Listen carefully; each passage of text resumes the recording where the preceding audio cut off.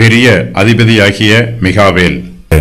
உன் ஜனத்தின் புத்திரருக்காக நிற்கிற பெரிய அதிபதியாகிய மிகாவேல் அக்காலத்திலே எழும்புவான். யாதொரு ஜாதியாரும் தோன்றினது முதல் அக்காலம் மட்டும் உண்டாயிராத ஆபத்து காலம் வரும். அக்காலத்திலே புஸ்தகத்தில் எழுதியிருக்கிறவர்களாக காணப்படுகிற உன் ஜனங்கள் அனைவரும் விடுவிக்கப்படுவார்கள். பூமியின் தூளிலே நித்திரை பண்ணுகிறவர்களாகிய அநேகரில் சிலர் நித்திய ஜீவனுக்கும் சிலர் நித்திய நிந்தைக்கும் இகழ்ச்சிக்கும் விழித்து எழுந்திருப்பார்கள். ஞானவான்கள் ஆகாய மண்டலத்தின் ஒளியைப் போலவும் அநேகரை நீதிக்கு உட்படுத்துகிறவர்கள் நட்சத்திரங்களைப் போலவும் என்றென்றைக்கும் உள்ள சதா காலங்களிலும் பிரகாசிப்பார்கள். தானியலாகிய நீயோவென்றால் முடிவு காலம் மட்டும் இந்த வார்த்தைகளை புதைப்பொருளாக வைத்து வைத்து இந்த புஸ்தகத்தை முத்திரை போடு. அப்பொழுது அநேகர் இங்கும் அங்கும் ஓடி ஆராய்வார்கள். அறிவும் பெருகிப்போம் என்றான். கர்த்தராகிய இயேசு கிறிஸ்து தம்முடைய சபையை போஷிக்கிறவராகவும் பாதுகாக்கிறவராகவும் எழும்புவார். பெரிய அதிபதியாகிய மிகாவேல் அக்காலத்தில் எழும்புவான் என்று காபிரியல் தானியலிடம் சொல்லுகிறார். கர்த்தராகிய இயேசு கிறிஸ்துவே பெரிய அதிபதியாக இருக்கிறார். அக்காலத்தில் மிகாவேல் நம்முடைய நித்திய ரட்சிப்பு நிறைவேறுவதற்காக எழும்புவார். தேவகுமாரன் மனுஷ ரூபம் எடுப்பார். அவர் பிசாசின் கிரியைகளை அழித்து போடுவார். கர்த்தர் தம்முடைய ஜனத்திற்காக எழும்புவார். உன் ஜனத்தின் புத்திரருக்காக நிற்கிற பெரிய அதிபதியாகிய மிகாவேல் அக்காலத்தில் எழும்புவான் என்று காபிரியேல் தானியலுக்கு சொல்லுகிறார். கிறிஸ்துவானவர் நமக்காக பாவமானார். அவர் நமக்காக சாபமானார். நம்முடைய பாவங்களின் நிமித்தமாக நாம் தண்டனைகளை அனுபவிக்க வேண்டிய இடத்தில் நம்முடைய இரட்சகராகிய இயேசு கிறிஸ்து நமக்காக பலியானார். நம்முடைய சாபங்களை கிறிஸ்துவானவர் தம்மீது ஏற்றுக்கொண்டார். நம்முடைய கர்த்தராகிய இயேசு கிறிஸ்து தம்முடைய திரு ரத்தத்தை நம்மை மீட்கும் கிரயமாக செலுத்தினார். நம்முடைய பாவங்களை நீக்குவதற்கு கிறிஸ்துவானவர் பாவ நிவாரண பலியாக தம்மையே ஒப்புக் கொடுத்தார் கிறிஸ்துவானவர் இந்த பூமியில் தோன்றும்போது தம்முடைய ஜனத்திற்கு விரோதமாக தீங்கு செய்தவர்களை தண்டிப்பார். வேதனைகளையும் உபத்திரவங்களையும் அனுபவித்த தம்முடைய பிள்ளைகளுக்கு ஆறுதல் கொடுப்பார். இயேசு கிறிஸ்து இந்த பூமியிலே மனுஷனாக அவதரிக்கும் காலத்தில் யாதொரு ஜாதியாரும் தோன்றினது முதல் அக்காலம் மட்டும் உண்டாயிராத ஆபத்து காலம் வரும். இந்த ஆபத்து காலத்திலே எருசலேம் அழிக்கப்படும். கிறிஸ்துவானவர் இந்த காலத்தை மகா உபத்திரவ காலம் என்று சொல்லுகிறார். ஏனெனில் உலகம் உண்டானது முதல் இதுவரைக்கும் சம்பவித்திராததும் இனிமேலும் சம்பவியாததுமான மிகுந்த உபத்திரவம் அப்பொழுது உண்டாயிருக்கும். மத்தேயு இருபத்தி நான்கு இருபத்தி ஒன்று இயேசு கிறிஸ்து இந்த பூமியிலே வரும் காலம் மகா நாளின் நியாய தீர்ப்பு நடைபெறும். இக்காலத்திலே புஸ்தகத்தில் எழுதியிருக்கிறவர்களாக காணப்படுகிற ஜனங்கள் அனைவரும் விடுவிக்கப்படுவார்கள். ஜீவ புஸ்தகத்திலே பெயர் எழுதப்படாதவர்கள் எரிகிற அக்கிரியிலே தள்ளப்படுவார்கள். பெரிய அதிபதியாகிய மெகாவேல் மகா நாளின் நியாய தீர்ப்பின் போது சத்துருக்களுக்கு விரோதமாக நியாயம் தீர்ப்பார். கிறிஸ்துவானவர் இந்த பூமியிலே மனுஷ ரூபம் எடுத்து வரும்போது தம்முடைய ஜனத்திற்கு ரட்சிப்பை கட்டளையிடுவார். இயேசு கிறிஸ்து இந்த பூமிக்கு வரும் காலத்திலே அவருடைய ஜனங்கள் அனைவரும் விடுவிக்கப்படுவார்கள். தங்கள் பாவங்களில் இருந்து ரட்சிக்கப்படுவார்கள். சாத்தானுடைய ஆளுகையில் இருந்து விடுவிக்கப்படுவார்கள். அந்தியோக்கஸ் கொடுக்கும் கொடுமைகளில் இருந்தும் உபத்திரவங்களில் இருந்தும் அழிவில் இருந்தும் கர்த்தருடைய ஜனங்கள் விடுவிக்கப்படுவார்கள். பூமியின் தூளிலே நித்திரை பண்ணுகிறவர்களாகிய அநேகரில் சிலர் நித்திய ஜீவனுக்கும் சிலர் நித்திய நிந்தைக்கும் இகழ்ச்சிக்கும் விழுத்து எழுந்திருப்பார்கள். கர்த்தர் தம்முடைய ஜனத்தை அவர்கள் அனுபவிக்கும் உபத்திரவங்களில் இருந்தும் வேதனைகளில் இருந்தும் விடுவிப்பார். இந்த விடுதலை கர்த்தருடைய ஜனங்களுக்கு உயிர்த்தெழுதலை போல இருக்கும். யூதர்கள் பாபிலோன் தேசத்து சிறையிருப்பில் இருந்து விடுதலை பெறுவது அவர்களுக்கு விழித்து எழுந்திருப்பதைப் போல் இருக்கும். யூதர்கள் அந்தியோக்கசனுடைய கொடுமையில் இருந்து விடுதலை பெறுவது மரணத்தில் இருந்து உயிர் பெறுவது போல இருக்கும். நம்முடைய பெரிய அதிபதியாகிய மிகாவேல் எழும்பும்போது அவருடைய சுவிசேஷம் பிரசங்கிக்கப்படும். அப்போது தூளிலே நித்திரை பண்ணுகிறவர்களாகிய அநேகரில் சிலர் அந்த சுவிசேஷத்தினால் எழுந்திருப்பார்கள். தங்கள் ஆவிக்குரிய ஜீவியத்தில் புதிய உணர்வையும் புதிய வல்லமையையும் பெற்றுக்கொள்வார்கள். எழுந்திருக்கிறவர்களில் அநேகர் யூதர்களாகவும் புறஜாதியாராகவும் இருப்பார்கள். இயேசு கிறிஸ்துவின் சுவிசேஷத்தை ஏற்றுக்கொள்கிறவர்கள் நித்திய ஜீவனுக்கு எழுந்திருப்பார்கள். இயேசு கிறிஸ்துவையும் அவருடைய சுவிசேஷத்தையும் ஏற்றுக்கொள்ளாதவர்கள் நித்திய நிந்தைக்கும் இகழ்ச்சிக்கும் விழித்து எழுந்திருப்பார்கள். காபிரியல் இங்கு விழித்து எழுந்திருப்பார்கள் என்று சொல்லுவது கடைசி நாளில் நடைபெறும் பொதுவான உயிர்த்தெழுதலை குறிக்கலாம். அந்நாளிலே பூமியின் தூளிலே நித்திரை பண்ணுகிற திரளான ஜனங்கள் எழுந்திருப்பார்கள். யூதர்களுக்கு உபத்திரவ காலம் வந்தபோது ஜனங்களில் அறிவாளிகள் அநேகருக்கு அறிவை உணர்த்தினார்கள். அறிவாளிகளில் அநேகர் பட்டயத்தினாலும் அக்கினியினாலும் சிறையிருப்பினாலும் கொள்ளையினாலும் விழுந்தார்கள். உபத்திரவ காலத்திலே தங்களுக்கு வந்த உபத்திரவங்களை பொருட்படுத்தாமல் அறிவாளிகள் கருத்திற்கு உண்மை உள்ளவர்களாய் ஜீவித்தார்கள். தங்கள் தேவனை அறிந்திருக்கிற இவர்கள் திடன் கொண்டு அதற்கு ஏற்றபடி ஜீவித்தார்கள். அறிவாளிகள் கர்த்தருடைய பிரமாணத்தை ஜனங்களுக்கு உபதேசம் பண்ணினார்கள். காபிரியேல் அறிவாளிகளை இங்கு ஞானவான்கள் என்று சொல்லுகிறார். ஞானவான்கள் ஆகாய மண்டலத்தின் ஒளியைப் போலவும் அநேகரை நீதிக்கு உட்படுத்துகிறவர்கள் நட்சத்திரங்களைப் போலவும் என்றென்றைக்கும் உள்ள சதா காலங்களிலும் பிரகாசிப்பார்கள். இவர்கள் கர்த்தருக்காக ஊழியம் செய்தாலும் இவர்களில் அநேகர் பட்டயத்தினாலும் அக்னியினாலும் இரத்த சாட்சியாய் மறித்தார்கள் இவர்களில் பலர் சிறையிருப்புக்கு உட்படுத்தப்பட்டார்கள். இவர்களுக்கு துன்பங்களும் வேதனைகளும் வந்தாலும் இவர்கள் அநேகரை நீதிக்கு உட்படுத்தினார்கள்.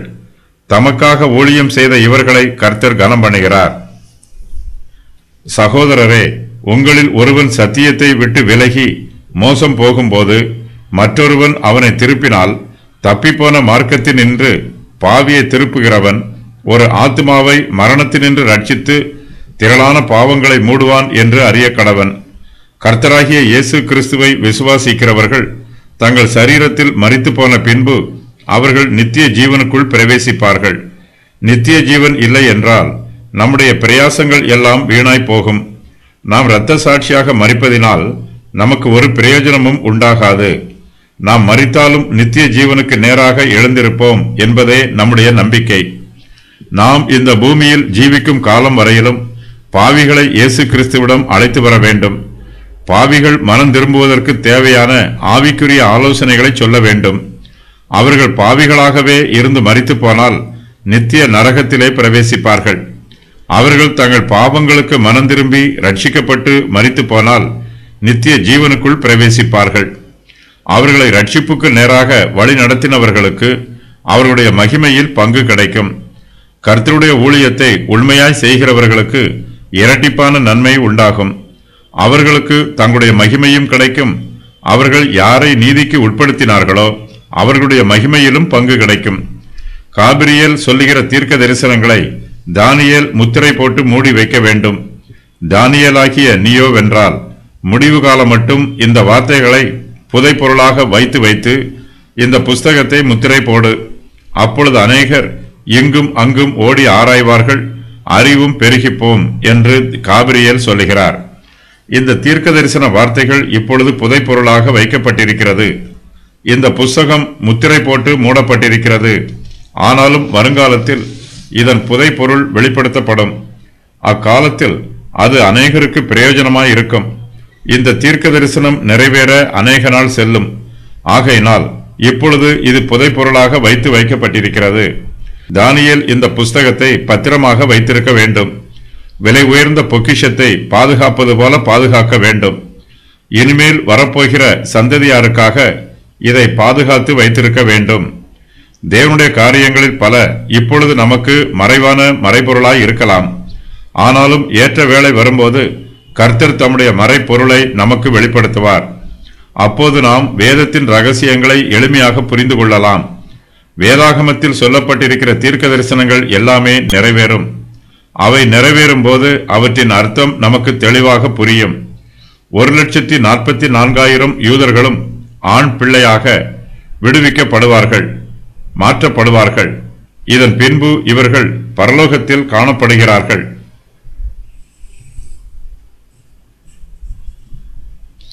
அக்காலத்தில் நடைபெறும் முக்கியமான சம்பவங்களின் விவரம். அக்காலத்தில் அந்தி கிறிஸ்து சமுத்திரங்களுக்கு இடையில் உள்ள சிங்காரமான பரிசுத்த பர்வத தண்டையில் தன் அரமனையாகிய கூடாரங்களை போடுவான். பெரிய அதிபதி எழும்புவான். சாத்தானையும் அவனுடைய தூதர்களையும் பூமியில் மனுஷர் மத்தியிலே தள்ளிவிடுவான். தானியலின் எழுபதாவது வாரத்தின் நடுவில் மகா உபத்திரவ காலம் ஆரம்பமாகும். இது இயேசு கிறிஸ்துவின் இரண்டாம் வருகைக்கு மூன்றரை வருஷங்களுக்கு முன்பு நடைபெறும். அக்காலத்தில் தானியலின் ஜனங்கள் அனைவரும் ஒரு லட்சத்தி நாற்பத்தி நான்காயிரம் பேர் விடுவிக்கப்படுவார்கள் மாற்றப்படுவார்கள்.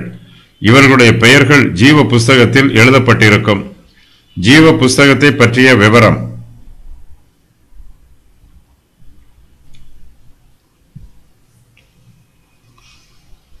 வெளிப்படுத்தின விசேஷம் மூன்று ஐந்து பதிமூன்று எட்டு இருபது பன்னிரண்டு பதினைந்து இருபத்தி இரண்டு பதினெட்டு பத்தொன்பது ஆகிய வசனங்களில் காணப்படுகிறது. ஆபத்து காலம் என்பது உபத்திர காலமும் எனவும் அழைக்கப்படுகிறது. இந்த காலத்தை பற்றிய விவரம் வருமாறு. உபத்திரவம் வரும் காலமும் அதன் கால அளவும். உபத்திரவ காலத்தின் பிரிவுகள். உபத்திரவ காலத்தின் நோக்கம். உபத்திரவ காலத்தின் தன்மை. உபத்திரவ காலம் உலகம் முழுவதும் இருக்குமா? உபத்திரவம் வரும் காலமும் அதன் கால அளவும். தானியலின் எழுபதாவது வாரம் ஆரம்பமாக முன்பு இஸ்ரவேலுக்கு உபத்திரவ காலம் வரும். எவ்வளவு காலத்திற்கு முன்பு என்று உறுதியாக தெரியவில்லை. இந்த வாரத்தின் ஆரம்பத்தில் அந்தி கிறிஸ்து எழும்புவான். இஸ்ரவேல் தேசம் பிந்திய ரோம பேரரசின் பத்து ராஜ்யங்கள் மூலமாக உபத்திரவங்களை அனுபவிக்கும். அந்திகிறிஸ்து வரும்போது அவன் இஸ்ரவேலோடு ஏழு வருஷ உடன்படிக்கையை உறுதி பண்ணுவான். அவர்கள் ஒரு தேசமாக தொடர்ந்து ஸ்தாபிக்கப்படுவதற்கு பாதுகாப்பு தருவதாக அந்தி கிறிஸ்து உறுதி கூறுவான். யூதர்கள் ரகசிய பாபிலோனுக்கு கீழ்ப்படிய மாட்டார்கள். இதனால் யூதர்களுக்கு உபத்திரவம் உண்டாகும். இக்காலத்தில் யூதர்கள் எல்லா தேசத்தாரும் வெறுக்கப்பட்டவர்களாக இருப்பார்கள். இது வருத்தங்களின் ஆரம்ப காலம் இக்காலத்தில் அந்தி கிறிஸ்து எல்லா தேசங்களையும் கைப்பற்ற முயற்சி பண்ணுவான்.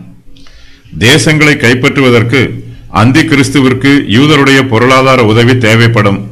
இதற்காக அவன் யூதரோடு ஏழு வருஷ உடன்படிக்கை செய்து கொள்வான். ஆகையினால் உபத்திரவ காலம் என்பது தானியலின் எழுபதாவது வாரம் முழுவதுமே உபத்திரவ காலமாக இருக்கும். இயேசு கிறிஸ்துவின் இரண்டாம் வருகையின் போது உபத்திரவ காலம் முடிவு பெறும். உபத்திரவ காலத்தின் பிரிவுகள். உபத்திரவ காலத்தில் இரண்டு பிரிவுகள் உள்ளன.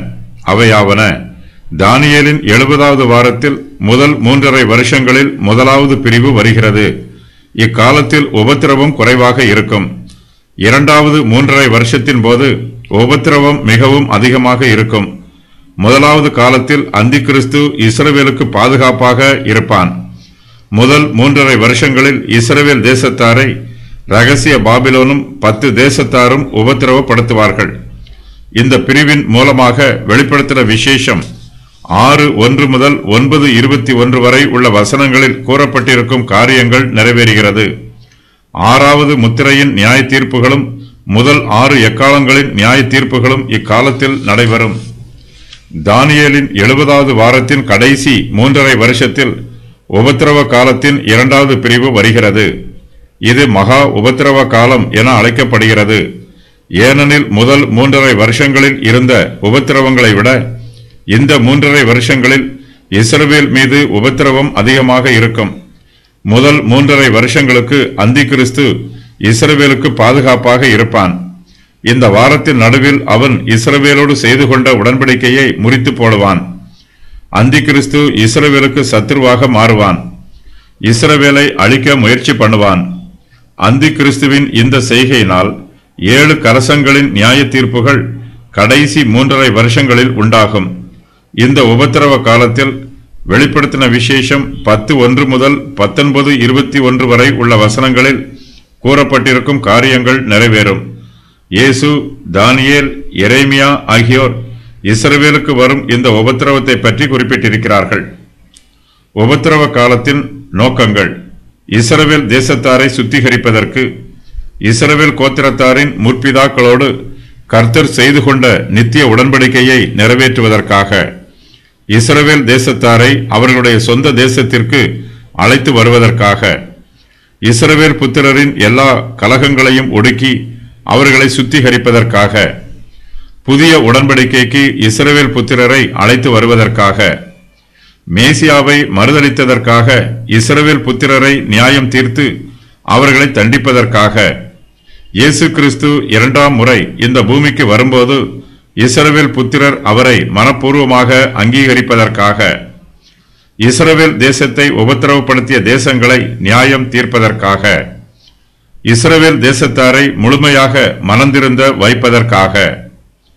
தானியேல் ஒன்பது இருபத்தி நான்கு முதல் இருபத்தி ஏழு வரை வெளிப்படுத்தின விசேஷம் ஆறு ஒன்று முதல் பத்தொன்பது இருபத்தி ஒன்று வரை. மத்தேயு இருபத்தி நான்கு பதினைந்து இருபத்தி ஒன்பது ஆகிய வசனங்களில் கூறப்பட்டிருக்கும் தீர்க்க தரிசனங்களை நிறைவேற்றுவதற்காக. இஸ்ரேல் தேசத்தாரை ஏதோம் மோவாப் ஆகியவற்றின் வனாந்திரங்களுக்கு தப்பியோட செய்வதற்காக இஸ்ரேல் தேசத்தாருக்கு உபத்திரவம் அதிகரிப்பதினால் அவர்கள் உதவிக்காக கர்த்தரிடத்திற்கு திரும்பி வருவார்கள். உபத்திரவ காலத்தின் தன்மை. மனுஷனுடைய துன்மார்க்கத்திற்காகவும் நியாயக்கேட்டிற்காகவும் கர்த்தருடைய கோபம் மனுக்குலத்தின் மீது ஊற்றப்படுகிறது. நோவா லோத்து ஆகியோரின் காலங்களை விட ஜனங்கள் அதிகமாய் பாவம் செய்கிறார்கள்.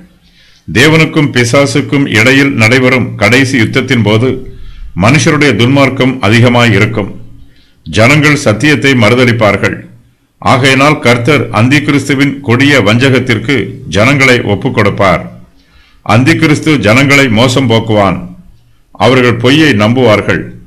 கர்த்தர் மனுஷர் மீது தமது நியாய தீர்ப்புகளை அனுப்பிய பின்பும் அவர்கள் கர்த்தரை மறுதளிப்பார்கள் உபத்திரவ காலம் உலகம் முழுவதும் இருக்குமா? அந்தி கிறிஸ்து இந்த உலகம் முழுவதையும் ஆளுகை செய்ய மாட்டான். பழைய ரோம பேரரசின் சாம்ராஜ்யத்திற்குள் அடங்கியுள்ள பத்து ராஜ்யங்களை மட்டுமே ஆளுகை செய்வான். வெளிப்படுத்தின விசேஷத்தில் கூறப்பட்டிருக்கும் எக்காலங்களின் நியாய தீர்ப்புகளும் கலசங்களின் நியாய தீர்ப்புகளும் பூமியில் நான்கில் ஒரு பங்கின் மீது மட்டுமே வரும். மிருகத்தின் முத்திரையை தரித்தவர்கள் மீதும் மிருகத்தினுடைய சிங்காசனத்தின் மீதும் அவனுடைய ராஜ்யத்தின் மீதும் கர்த்தருடைய நியாய தீர்ப்பு வரும்.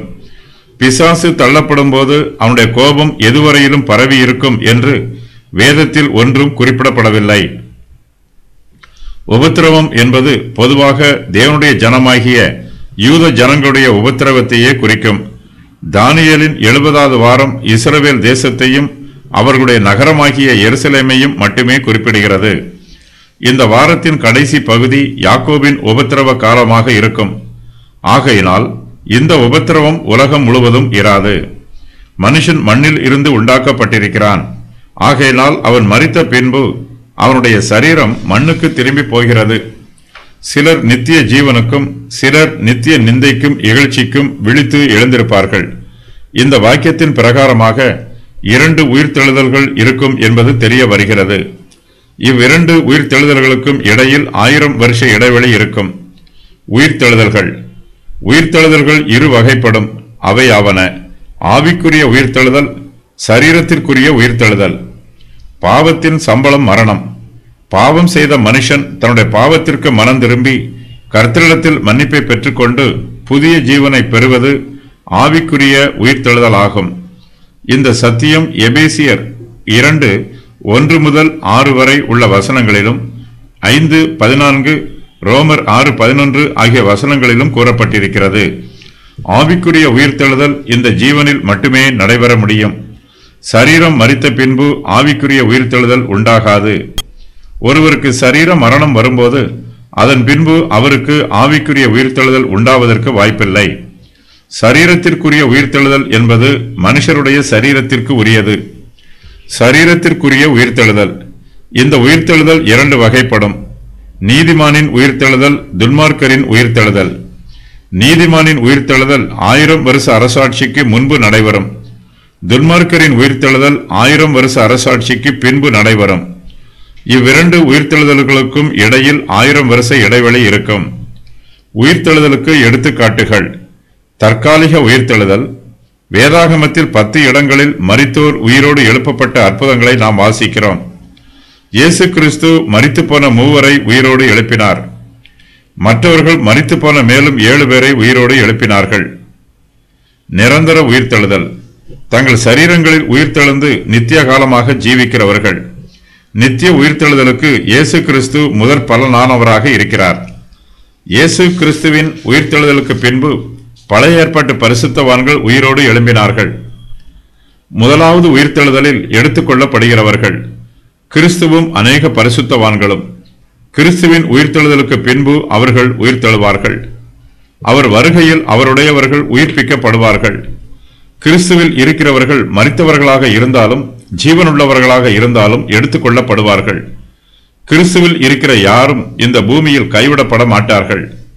தானியலின் எழுபதாவது வாரத்தின் முதலாவது மூன்றரை வருஷத்தில் ரட்சிக்கப்பட்ட ஒரு லட்சத்தி நாற்பத்தி நான்காயிரம் யூதர்கள் இயேசு கிறிஸ்துவின் இரண்டாம் வருகைக்கு முன்பு மூன்றரை வருஷத்தில் இது நிறைவேறும்.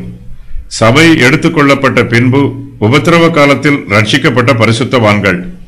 தானியலின் எழுபதாவது வார காலம் முழுவதிலும் ரட்சிக்கப்பட்டவர்கள் இரத்த சாட்சியாக முதலாவது மறித்தவர்கள் சபை எடுத்துக்கொள்ளப்படும் போது தேவன் தம்முடைய பரிசுத்தவான்களை மத்திய ஆகாயத்திற்கு அழைத்துச் சென்று ஆட்டுக்குட்டியானவருடைய கல்யாண விருந்தில் பங்கு பெறச் செய்வார். சபை எடுத்துக்கொள்ளப்படுவதில் பங்கு பெறுவதற்கு நிபந்தனைகள். இயேசு கிறிஸ்துவிற்குள் இருக்க வேண்டும். கிறிஸ்துவின் உடையவர்களாக இருக்க வேண்டும். ஆசீர்வதிக்கப்பட்டவர்களாகவும் பரிசுத்தமானவர்களாகவும் இருக்க வேண்டும். நன்மை செய்கிறவர்களாக இருக்க வேண்டும் பாத்திரராக இருக்க வேண்டும் சபையை சேர்ந்தவர்களாக இருக்க வேண்டும் சுத்தமுள்ளவர்களாக இருக்க வேண்டும் கரைதிரை அற்றவர்களாக இருக்க வேண்டும் ஆவியில் ஜீவித்து நடக்க வேண்டும் வெளிச்சத்தில் நடக்க வேண்டும். உயிர்த்தெழும் விதத்தை பற்றி அப்போஸ்தலர் பவுல் ஒன்று குருந்தியர் பதினைந்து முப்பத்தி ஐந்து முதல் ஐம்பது வரை உள்ள வசனங்களில் விவரித்து கூறியிருக்கிறார். விதைக்கப்படும் விதை செத்து அதன் பின்பு முளைத்து மேனியை கொடுப்பது போல உயிர்த்தெழுதல் இருக்கும். மனுஷர் மறித்து போன பின்பு மறுபடியும் உயிரோடு எழும்புவார்கள். முதலாம் உயிர்த்தெழுதல். ஆதாமின் காலத்தில் இருந்து ஆயிரம் வருஷ அரசாட்சியின் காலம் வரையிலும் நீதிமான்கள் ஆசீர்வதிக்கப்பட்டவர்கள் பரிசுத்தவான்கள் ஆகியோர் முதலாம் உயிர்த்தெழுதலில் பங்கு பெறுவார்கள். இயேசு கிறிஸ்துவின் உயிர்த்தெழுந்த நாளில் இருந்து உபத்திரவ காலத்து பரிசுத்தவான்கள் உயிர்த்தெழும் காலம் வரையிலும் முதலாம் உயிர்த்தெழுதலின் காலமாகும். இந்த உயிர்த்தெழுதலில் பங்கு பெறுகிறவர்கள் அனைவரும் கிறிஸ்துவோடு ஆளுகை செய்வார்கள். கிறிஸ்துவிற்குள் மரித்தவர்கள் இந்த உயிர்த்தெழுதலில் பங்கு பெறுவார்கள். கிறிஸ்து மரித்து உயிர்த்தெழுந்தது போல கிறிஸ்துவிற்குள் மறித்தவர்களும் உயிர்த்தெழுவார்கள்.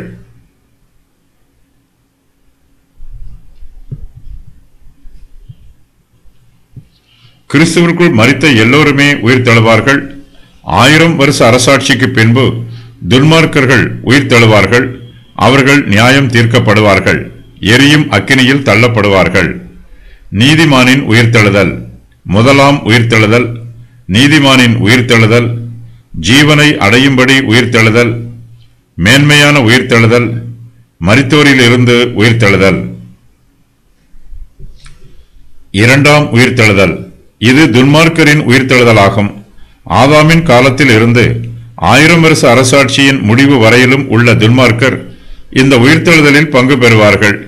ஆயிரம் வருஷ அரசாட்சிக்கு பின்பு இரண்டாம் உயிர்த்தெழுதல் நடைபெறும். ஆயிரம் வருஷ அரசாட்சியில் மறித்து போன துன்மார்க்கரும் இந்த உயிர்த்தெழுதலில் பங்கு பெறுவார்கள். தங்கள் அழியாத சரீரத்தோடு எழுந்திருந்து இவர்கள் நரகத்தில் நித்திய ஆக்கினையை அனுபவிப்பார்கள். முடிவு காலம் மட்டும் இந்த வார்த்தைகளை புதைப்பொருளாக வைத்து வைத்து இந்த புஸ்தகத்தை முத்திரை போடு என்னும் வாக்கியம் இந்த சம்பவங்கள் எல்லாம் கடைசி காலத்தில் நடைபெறும் என்பதை விவரிக்கிறது. மனுஷர் மத்தியிலே அறிவு பெருகி இருக்கிறது. இன்னும் தொடர்ந்து பெருகிக் கொண்டு வருகிறது. மனுஷன் புதிய புதிய காரியங்களையெல்லாம் கண்டுபிடித்துக் கொண்டு வருகிறான்.